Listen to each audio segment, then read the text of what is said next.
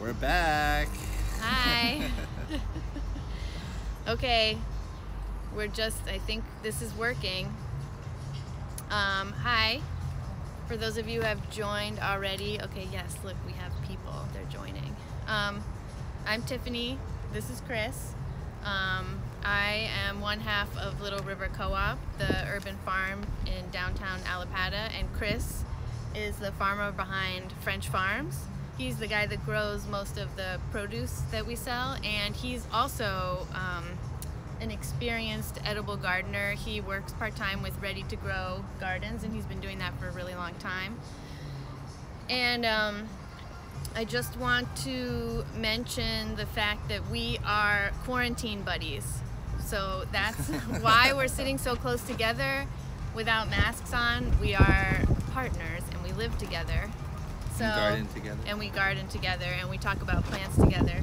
So that's one of the reasons why we're here together um, on a private property where there are no other people. And so yeah, we're like, we're, someone we're being, said, someone asked if they, they said they couldn't hear. Can you guys hear us? Can you hear us? can you hear us? Somebody say yes. Someone say yes if you can hear us. No? Uh-oh. Okay. Yeah. Yes. What? That's me though. Oh.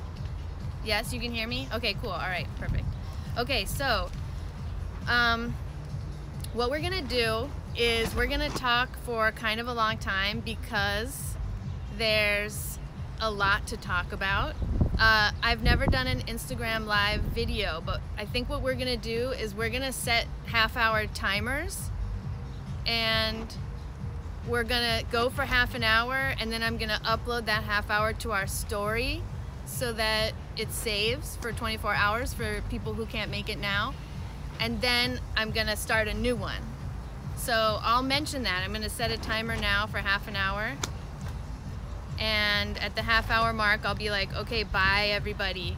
And then I'll kind of like refresh. Also, we have ancient iPhones and we're afraid of them um, running out of batteries.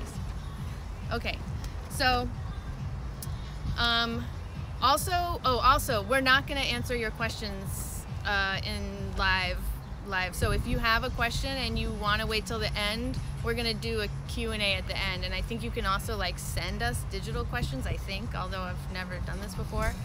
Um, because if we answer your questions, we're gonna get way off topic, and we want to cram a lot of information into you. We're gonna be talking Today. about life Yeah. cycle of a white fly real quick. No, no, no.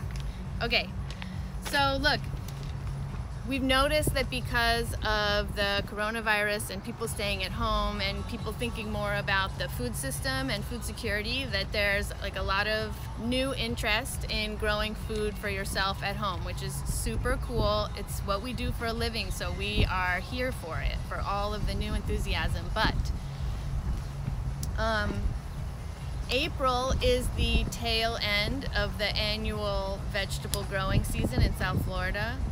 So I'm not going to say there's nothing you can do in your garden. There's a whole bunch of stuff you can do in your garden. But Like we just had the last harvest at the farm. So yeah, like the we- farm is closed.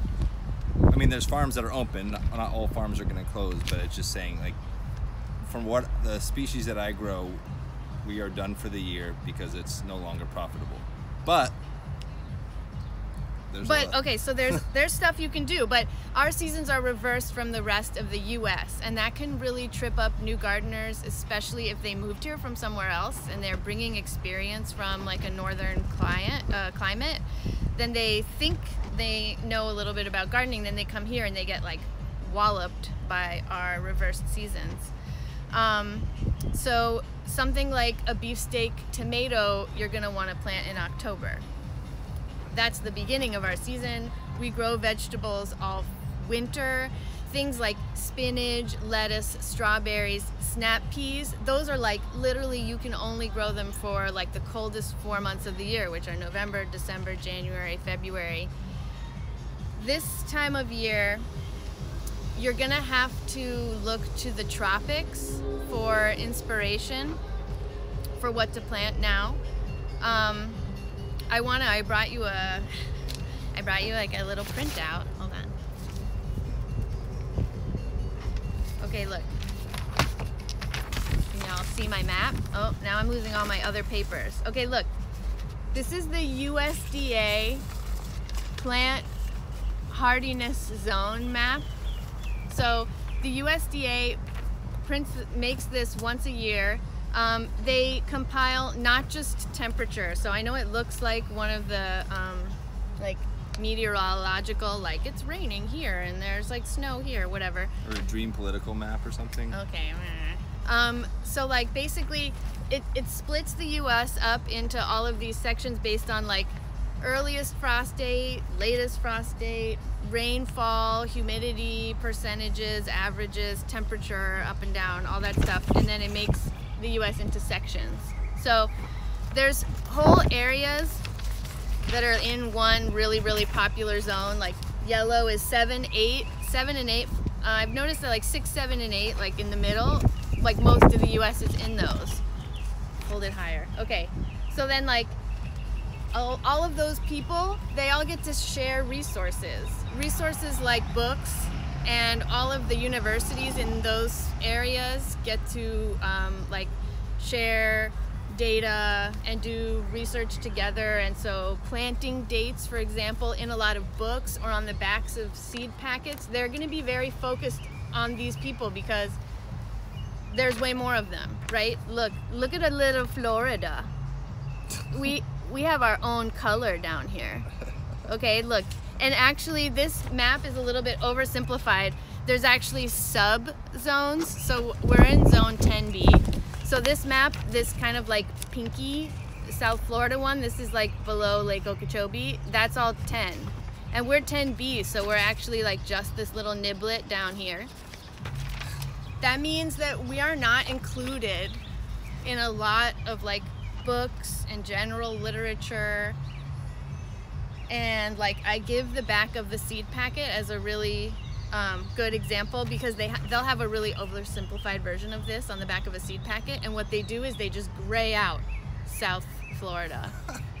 they don't even include it. They're like, the seed packet is too small, so we're just not gonna talk about Florida. Don't look down there. Like, don't look at that because the planting, it's like too complicated. So, but we're in that don't look down there. So basically, um, if you zoom out further from just the US, you'll find a lot of places that have really similar climate to us. They're just not in the continental US. So um, all of the Caribbean, that's a really good place to look for research about like cuisine, you know? Mm -hmm. So mm-hmm. it's like what kind of countries have tropical climates okay, those people's cuisine are what we need to look to for inspiration for growing during our hot months. So like in India, parts of the rainy parts of India where they have monsoon seasons, like Southeast India, that's a really good example. Yeah, you're gonna wanna get an Indian eggplant, not an Italian eggplant. Or you're gonna wanna grow turmeric instead of oregano. Um, to mention the Italian thing, a lot of people think like, okay, hot that makes sense. We're hot, they're hot. Like Italy's hot, California is hot, Florida is hot. We're we're all hot. I'm sure we all grow the same things, but let me tell you, humidity is a thing. It's a real there's our humidity is like absolutely different than the like desert hot climates. So that's gonna like totally change the um, the types of things that you can grow. The humidity, it's like a really big deal. Um, so like turmeric, ginger, lemongrass, India, you know, callaloo, which is also called amaranth, ají dulce, like cachucha peppers. Well, I'm thinking like the Caribbean, you know, yeah. like all of those. You need to kind of like expand your research horizon thing other areas that are hot all the time and really humid in order to get inspired for summer growing, which is like what we're doing now. Um, Chris is also super um, passionate about nighttime temps. Oh yes. Yes, because it's always that thing like it's hot everywhere. Like I see my friends in Kansas, their tomatoes grow great, or or even they'll have.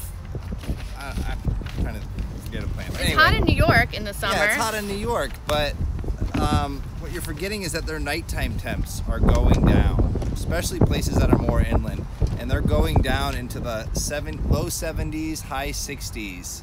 And a lot of these plants that love as much heat and as energy they can get from the sun during the day, in order for their flowers to work or their plants to work, they're gonna they're gonna need a cooler nighttime temperature, and so that's why you have to be careful with that. And also the humidity thing. Humidity at night is just breeds a lot of disease and pests, and the plants are already stressed because it's summer and they don't want to survive in this heat. So Um, so yeah, it's not like plants don't want to survive. It's more like Western European annual vegetables. They don't want to survive because they haven't been bred for this. So what I mean when I say that is like radishes, broccoli, kale, carrots, lettuce. Those things are we can grow them and again people grow them when it's hot out so they think of them as heat loving but those are cool weather crops. Cool weather. Like you can push snow aside and harvest kale you know? Like so you're kind of supposed to be growing it like that we really really think it's super important um, especially if you're a beginner to try and grow with the seasons. Like I'm always saying that on the phone because i do our customer support because it's my cell phone.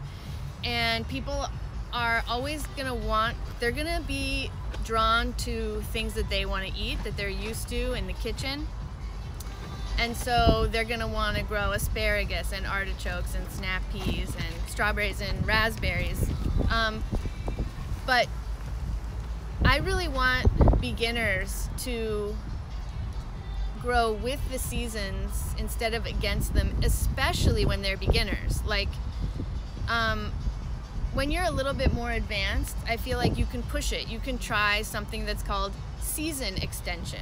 Season extension is a thing that farms do into the winter where they'll, you know, put a hoop over a bunch of crops to keep the snow off it and then they'll heat it with gas and they'll keep their spinach or their carrots growing for like an extra 2 months or something yeah, like it's that. hard to justify it on the home garden scale. I mean, there's a lot of engineering that goes into it. Sometimes they like cooling the water that they're irrigating with. They have all this ventilation. They might have artificial light. It just goes on and on. And so, like, sure, you could do it, but you probably should keep it simple and not do that. Yes, simple and with the seasons. Like because because because growing food in your backyard is a hobby, right? It's supposed to be fun. No one is going to stop going to the grocery store because they put some raised beds in their backyard. We go to the grocery store and we own farms. It's um it's like it's supposed to be fun and if you go against the seasons especially as a newbie it's not going to be fun. You're going to fail a bunch. We know that there's a lot to learn in failure too. Um, so we don't want to discourage anyone from experimenting but um, i really encourage people that call me and reach out to us for new advice to like go on to Facebook groups and um, use the internet a lot as like a really great to- uh, tool for research because if you have a question about something growing in South Florida, someone has for sure already asked that question and someone else has for sure already answered it for them.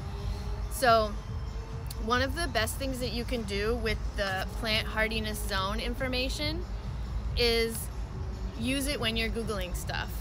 And um, I like to use artichokes as my example for that because when I first moved back to Miami with an interest in gardening, like eight years ago, I was like, I'm gonna grow my favorite food. It's artichokes. Go.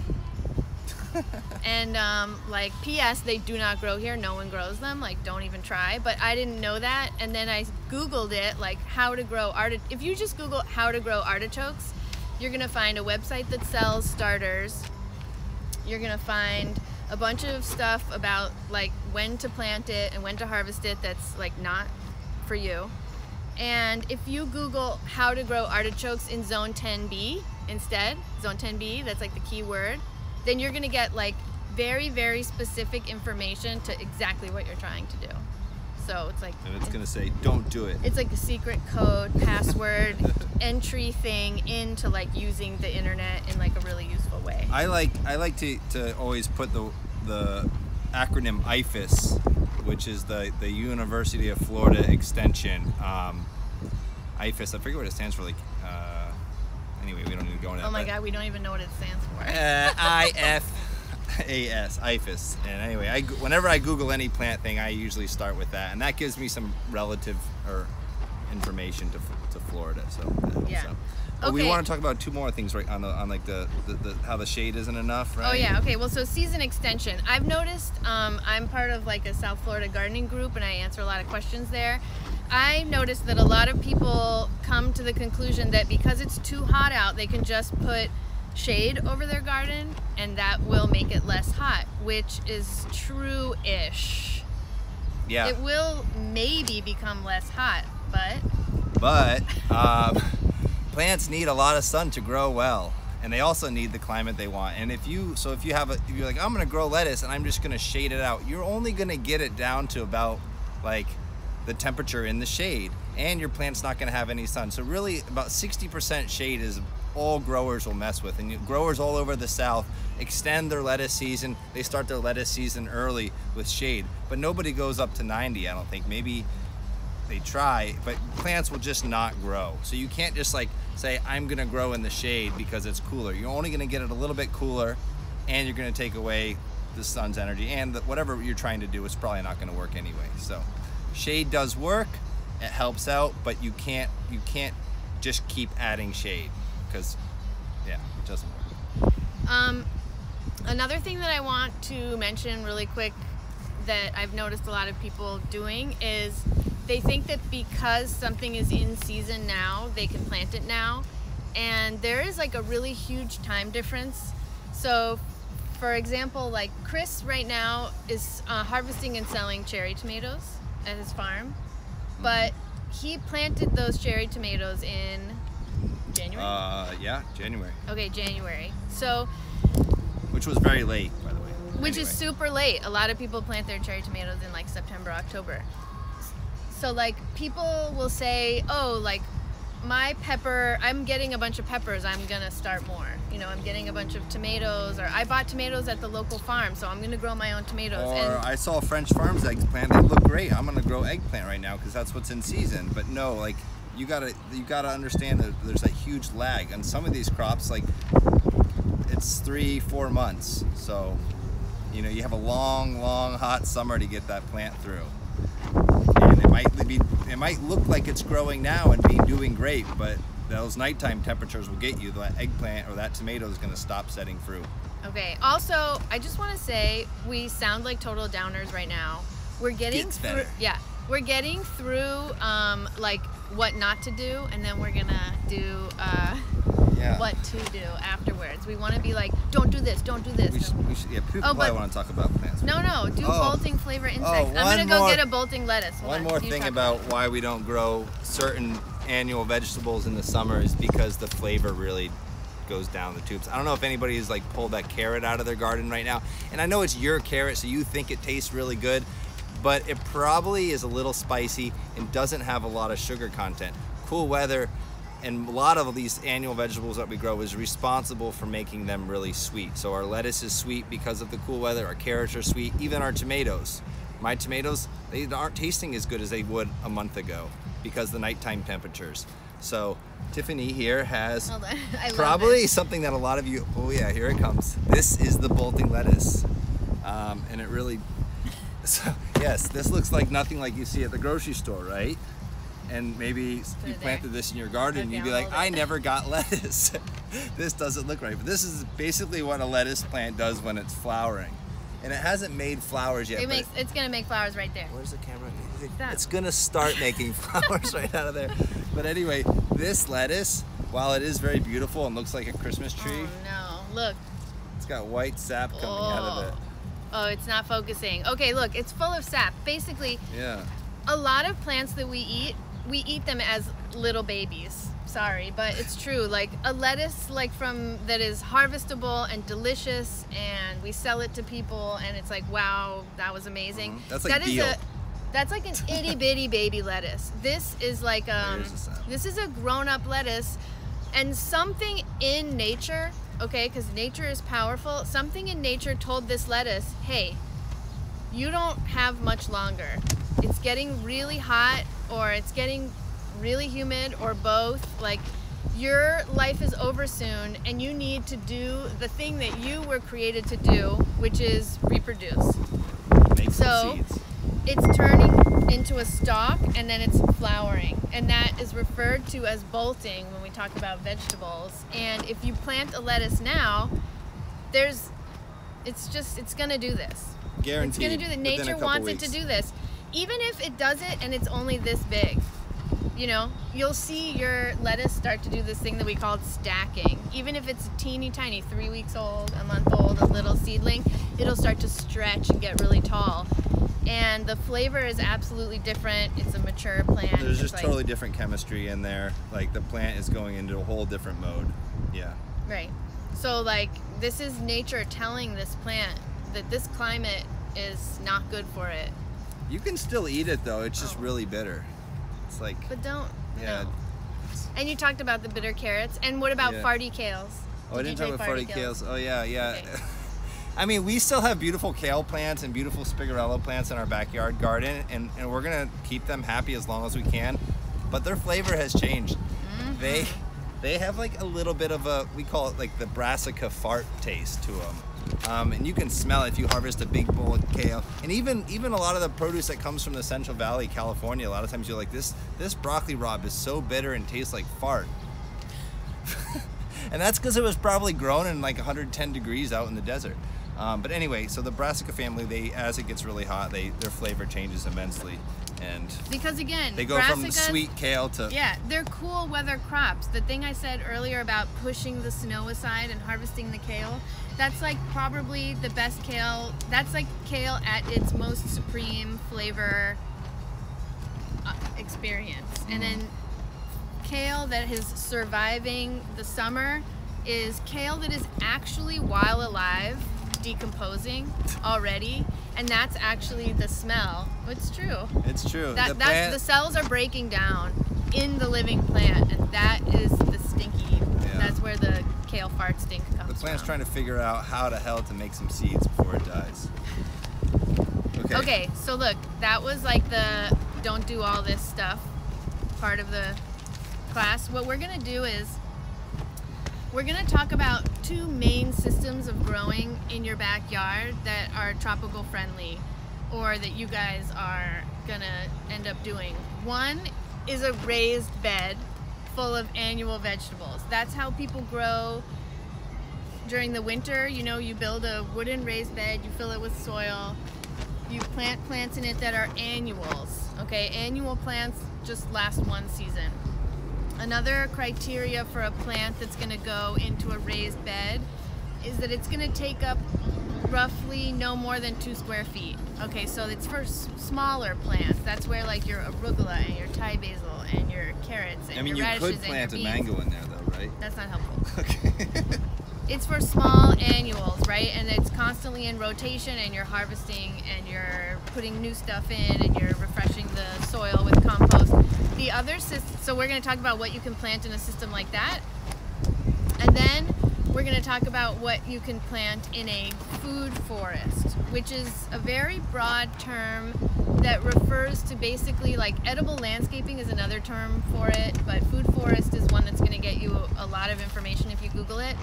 It's where the gardener, that's you, you know, picks plants that in a way that mimics a f how a forest happens naturally. Do you want to explain that a little bit? A I little. have a little drawing for you guys. Look.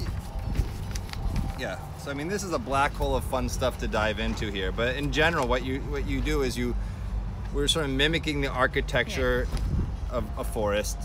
Now they can't see us though, right? I know, but it's because of all the little light. Oh. okay, yeah. I don't know if this this picture's that. Okay, all right. Well, Get we have one here. We're gonna show you. Okay, we yeah, we're gonna go walk around and look at the food forest. So basically, yeah, you're, you're gonna have plants that are tall. Maybe it's uh, in relationship to each other. So you know, there's a lot of flexibility here. You know, it, do, you doesn't you don't have to have a huge mango tree in your food forest anyway. So you could have you have some trees, you have some things that are really tall. Maybe maybe they make a little bit of shade in the heat of the day. You have some things that are medium Oh, it sized. picture is good. Okay. Um, and you have some things down low, maybe like a ground cover. Um, and so we're, I don't know, are we gonna do that now? We'll walk over there and No, take a no. look at it? No? You want me to keep talking about plants? Well, look.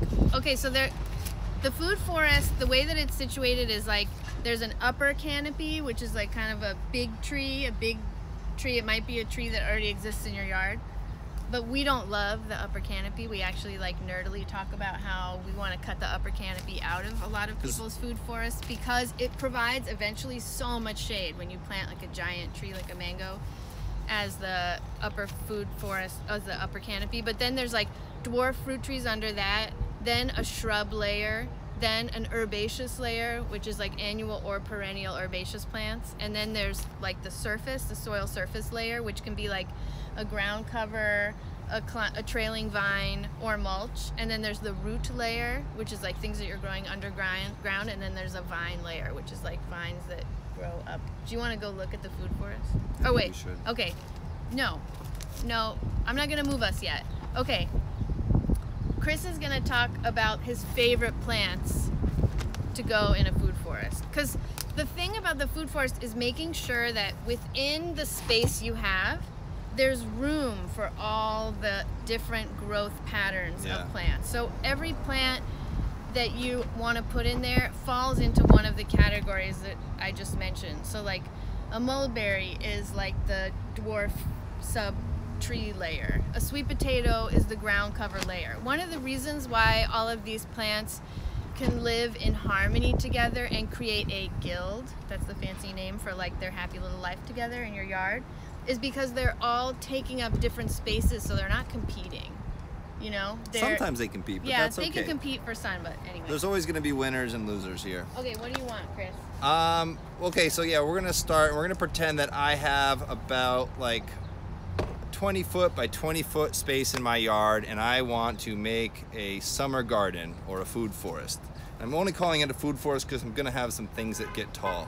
First thing I'm gonna plant is gonna be a moringa. This is you'll see this growing in a lot of people's yards. It's gonna be one of my shade species, and it's gonna grow really fast, and it's gonna add nitrogen to the soil. I can eat the leaves. There's a million things you can do with moringa. So Most nutritious most nutritious leaf in the world. So I'm definitely gonna have one of these because I love to have greens Talk in, about compassing it. in, the, in the summer.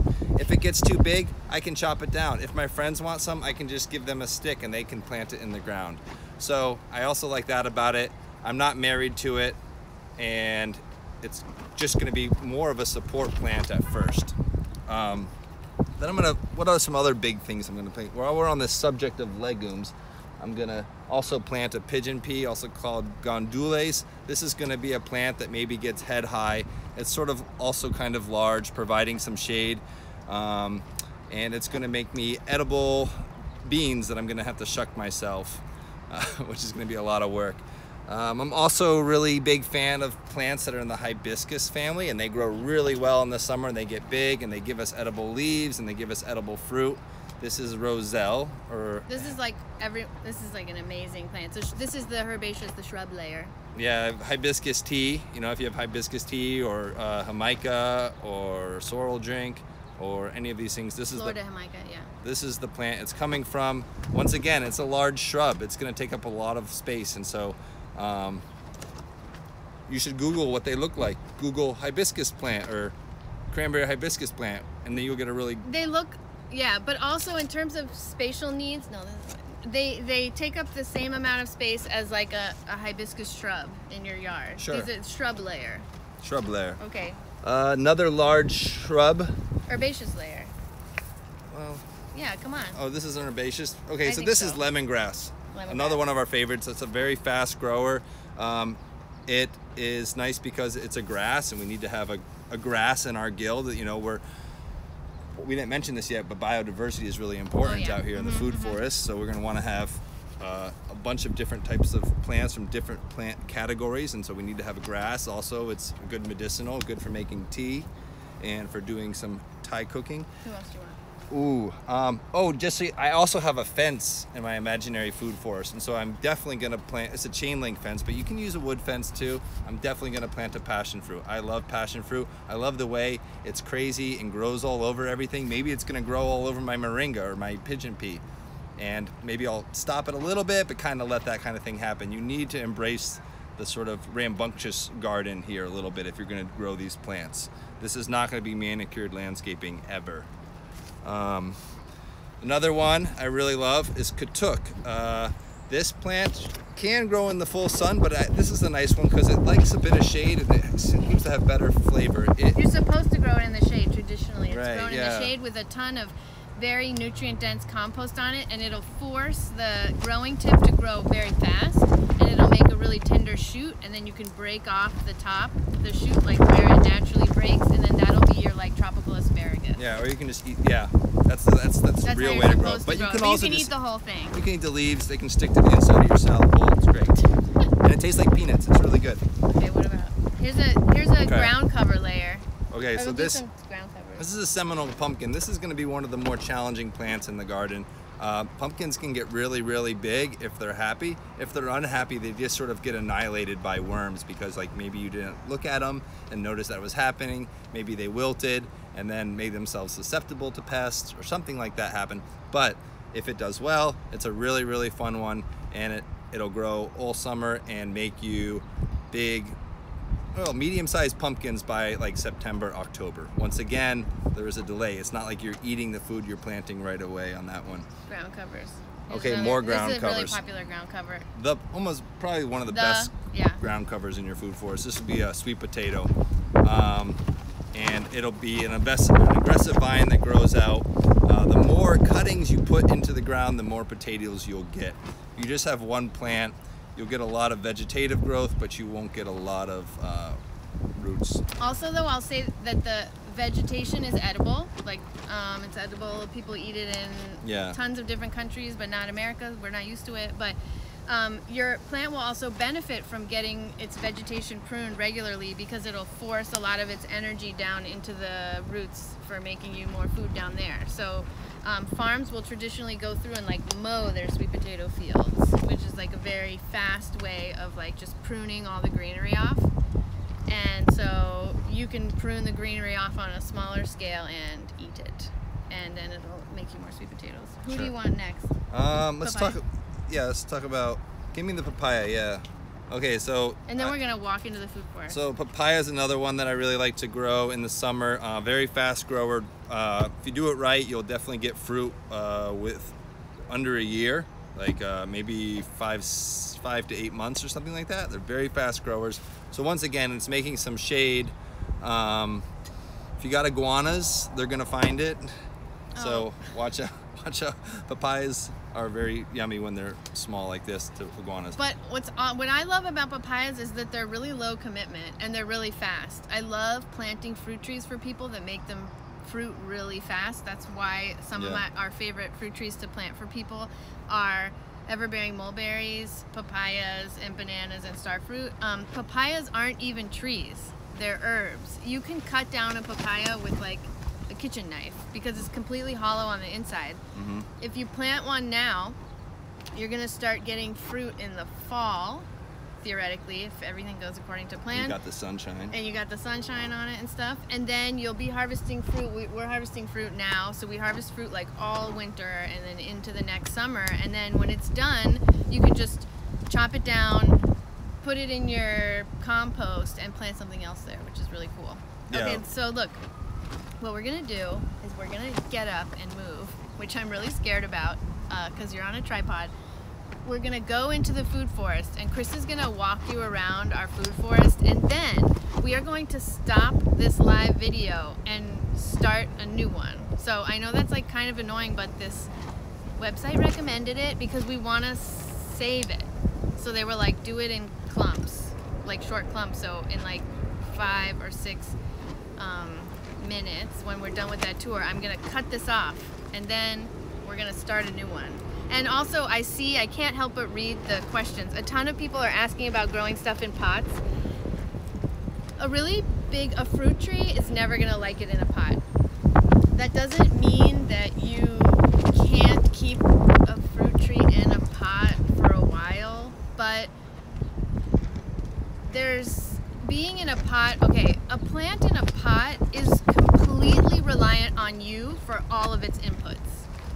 Okay, you've put it, you've put a barrier between it and anything that it's been. You're its captor. Naturally bred to do, like make really big root systems and forage for water and mineral and nutrients. You know, so anything you keep in a pot, it's like if it's gonna get specific minerals it's only from you.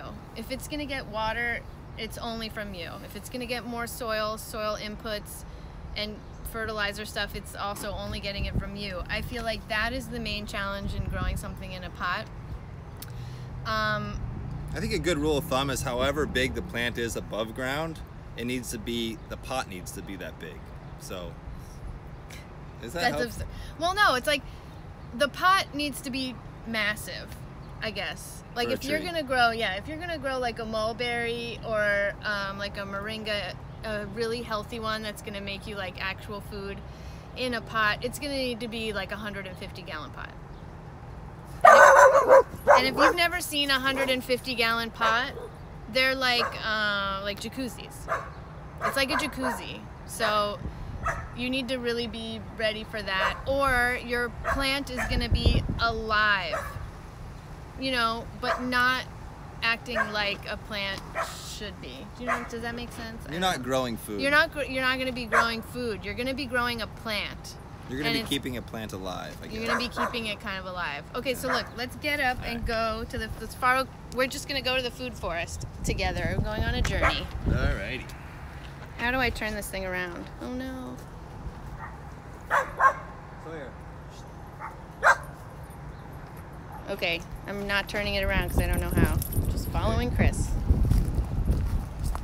Okay, we're going past some mulberries. We have a little papaya here. Um, these are both sort of all of these trees that we have at this food forest. Uh, Sawyer, can you stop barking for a minute? Are pretty small and fast growing, so that's why we have these. We, you know, this isn't permanent land, so we have. Anyway, we have some mulberries and the papayas. Um, moving along here to kind of a better part of the food forest.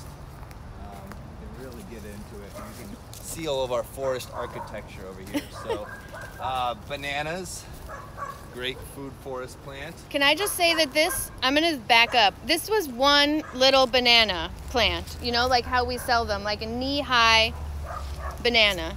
So when you plant a banana, this is what you're getting into. And this is a dwarf variety. Yeah, this is a dwarf. This is a low they one. much bigger than this, but it's fruiting. Fun. We got a little uh, star fruit here. It's a little close to the pineapple, but that's okay. Yeah, that was Maybe a bad choice. We'll machete down the pineapple and give the star fruit some more space. That was a bad choice. Can we go over here? Yeah, yeah. Okay. So here we have like a little citrus. You know, citrus never do that well, so we just have a little one. Tell them about Calamondin because someone asked about varieties. Oh, okay, yeah. This is kind of one of the only citrus varieties we recommend is a Calamondin. Or It's- key lime. And a key lime. Um, it's similar. This is similar to a kumquat in that you eat the whole rind. The sweetness is actually in the rind, and it actually is one of the very few uh, fruit trees that actually will do in a container. They call it the patio citrus. And so if you're going to grow something in a container and you want to have fruit on it, I would the Calamondin is the one I'd get. Let me just say that Sawyer's dog nemesis is walking by, so it's gonna get barky. Okay, keep going. it's gonna get barky. Um, over here we got another one of our sort of canopy trees. This is the Pakistani mulberry, and it's uh, you can see it's kind of the biggest tree that we have over in this little area. Next Sorry, to it, come a small pigeon pea. shh, shh, shh. Um, and then underneath the pigeon pea, we have a unintentional ground cover of one of our favorite weeds called Yeah. Bidens alba. This is that my annoying layer. thing that gets stuck into your socks and your dog and your uh, pants and everything. But it's very nutritious and edible, so we're, we're sort of tolerating it here um, as a ground Oh, cover. Sawyer, oh my god, the worst. Okay, go to the cherry. Okay, coming around the corner here, Yeah. going past our Mejun tea. Oh yeah, Mojin tea. This is a, a really a fun Caribbean plant that does really, really well here. It almost tastes like thyme. Um, so over here we have a, another small tree. This is Barbados cherry. Uh, I love this plant. It has one of the highest concentrations of vitamin C. Uh, takes a lot of wind. It's also sort of Caribbean. Um, Down below it, we have a ground cover of sweet potato growing, you know, so, and then underneath the sweet potato, we have a thick layer of mulch. Mulch is really important, especially for establishing your food forest. Ideally, eventually your forest will be all plants and there'll be no bare soil, but to avoid the bare soil thing, we usually get tree trimmer mulch. Uh, it's free, it's plentiful, it's packed with enzymes and compounds and minerals from a variety of different plants. And we can't say enough about mulch. And it will keep your weeds down, it'll feed your plants over time, it'll encourage biology in the soil, it'll help the rain from getting destroyed, uh, help, sorry, help the soil from getting destroyed by the rain. Yeah. Um, and it'll it slowly builds soil. Like under this mulch, there's uh, old mulch, and old mulch is worm castings, which is soil. So Yeah. like down here, there's really good nice stuff. stuff, And yeah. the only thing that we did to get this nice soil here around our fruit trees is just mulch this area twice a year heavily. That's it. You know, heavily, heavily like heavily. a nice thick layer. Some people put cardboard underneath it to help even more. That's a good use for all your Amazon boxes you're getting right now. Putting a nice, put the box down and then put a layer of mulch over there. Okay, so look, I'm gonna stop this live video, but we're gonna do two more sections of workshop. I just wanna stop this so that I can upload it with our shaky internet connection and save it. So it, it's gonna be like a minute, and any of you who wanna keep learning, you can just join the next one. We're gonna talk about raised bed gardening next. So like putting herbs and eggplants and peppers and stuff into like a smaller system. And then after that, it's gonna be like building soil, composting, mulching, cover cropping. And cover cropping is critical for your annual bed. It's a really cool thing to do for the summer. So stay tuned. We're just we're just gonna start again in like a minute.